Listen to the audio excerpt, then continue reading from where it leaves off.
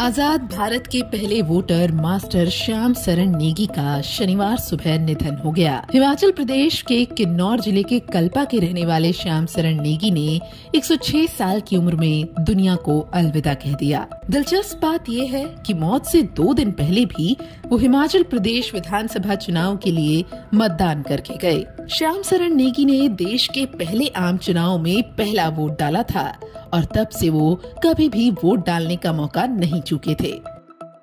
आज़ाद भारत को उसका पहला मतदाता मिलने की कहानी भी काफ़ी दिलचस्प है।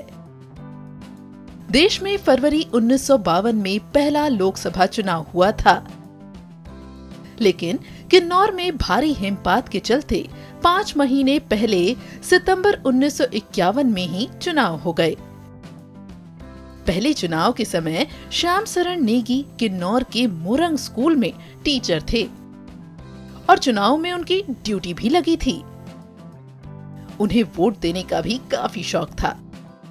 उनकी ड्यूटी शोंगठोंग से मुरंग तक थी, जबकि वोट कल्पा में था।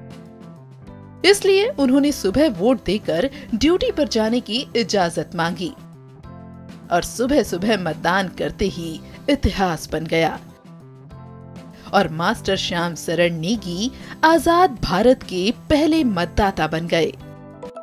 स्वतंत्र भारत के पहले मतदाता के तौर पर मशहूर नेगी को भारतीय लोकतंत्र का लिविंग लेजेंड भी कहा जाता था। जीवन के 106 बसंत देखने वाले नेगी ने 34 बार मतदान किया था।